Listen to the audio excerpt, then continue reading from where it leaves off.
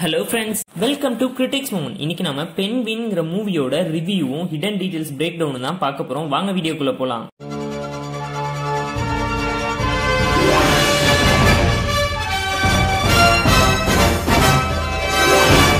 பொன்மகள் வந்தாலுக்கு அடுத்ததா ஓடிடில ரிலீஸ் ஆகக்கூடிய மிகப்பெரிய படங்க. பயங்கர எதிர்பார்ப்போட இருக்க படம் தான் பெண்வின் இந்த படத்தை யார் டைரக்ட் பண்ணிருக்காங்கன்னு பாத்தீங்கன்னா ஈஸ்வர் கார்த்திக். இந்த படத்தை யார் ப்ரொடியூஸ் பண்ணிருக்காங்கன்னு பாத்தீங்கன்னா கார்த்திக் சுப்ராஜ் கார்த்திக் சுப்ராஜே இந்த படத்தை ப்ரொடியூஸ் பண்றாருங்கும் போது இந்த படத்தோட எதிர்பார்ப்பு இன்னும் கூடுதலா இருக்கு இந்த படத்தோட ஸ்டோரி ரைட்டர் யாருன்னு பாத்தீங்கன்னா ஈஸ்வர் கார்த்திக். கீர்த்தி சுரேஷ் இந்த மூவில அம்மா கேரக்டர் பண்ணிருக்காங்க அதனாலேயே இந்த படத்துக்கான எதிர்பார்ப்பு அதிகரிச்சிருக்குன்னே சொல்லலாங்க. இந்த படத்தோட மியூசிக் டைரக்டர் யாருன்னு பாத்தீங்கன்னா சந்தோஷ் நாராயணன். சினிமோட்டோகிராஃபி யாருன்னு பாத்தீங்கன்னா கார்த்திக் பழனி. எடிட்டர் யாருன்னு கேட்டா அனில் கிரிஷ். இந்த படத்தோட ட்ரீசர் ரெண்டு நாளைக்கு முன்னாடி தான் ரிலீஸ் ஆச்சு. இன்னைக்கு தான் இந்த படத்தோட ட்ரைலர் ரிலீஸ் ஆயிருக்கு. இந்த படத்தை வந்து ஜூன் நைன்டீன் அமேசான் பிரைம்ல ஓடிடி பிளாட்ஃபார்ம்ல தான் ரிலீஸ் பண்ணுவேன்னு சொல்லியிருக்காங்க.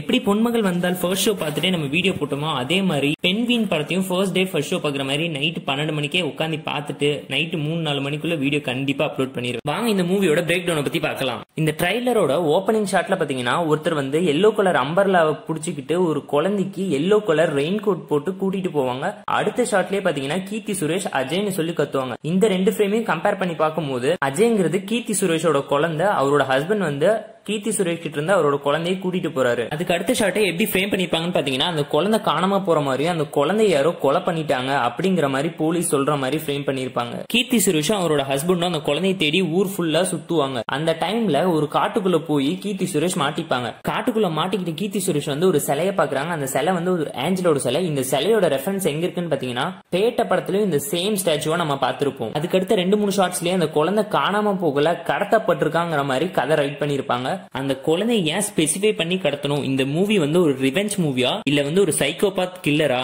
அப்படிங்கிற ஒரு ஹைப்பை கிரியேட் பண்ணிருக்கும் ஏன்னு பாத்தீங்கன்னா இது வந்து ஒரு மிஸ்ட்ரி த்ரில்லர் அது மட்டும் இல்லாம அந்த அஜய்னு ஒரு குழந்தை மட்டும் காணாம போயிருக்காது. அது மாதிரி ரெண்டு மூணு குழந்தைங்க அந்த ஊர்ல காணாம போயிருக்காங்கன்னு சொல்லி சொல்லுவாங்க போலீஸ்காரங்க எல்லாம் அது மட்டும் இல்லாம ஒவ்வொரு குழந்தை சாகும் போது அந்த இடத்துல ஒரு பிளவர் புக்கே இருக்கும் அப்படின்னு சொல்லியிருப்பாங்க. என்னடா வில்லனோட ஃபேஸே ரிவீல் பண்ணாம கொண்டு போறாங்கன்னு பாத்துட்டு இருந்தா ட்ரைலரோட கிளைமேக்ஸ்ல கொண்டு போய் ட்ரைலரோட கிளைமேக்ஸ்ல தான் வில்லனை ரிவீல் பண்ணிருப்பாங்க. வில்லனுக்கு வந்து ஒரு ஃபேஸ் மாஸ்க் கொடுத்துருப்பாங்க. அது யாரோட ஃபேஸ் மாஸ்க்னு பாத்தீங்கன்னா சார்லி சாப்ளினோட ஃபேஸ் மாஸ்க் தான். ஏன்டா சார்லி சாப்ளினோட ஃபேஸ் மாஸ்க் கொடுத்தாங்கன்னு கேட்டீங்கன்னா சார்லி சாப்ளின் வந்து ஒரு மோனோ காமெடி ஆக்டரா இருந்தாலுமே அவருக்குள்ள ஒரு சாடிஸ்னஸ் லோன்லினஸ் இருக்கும்.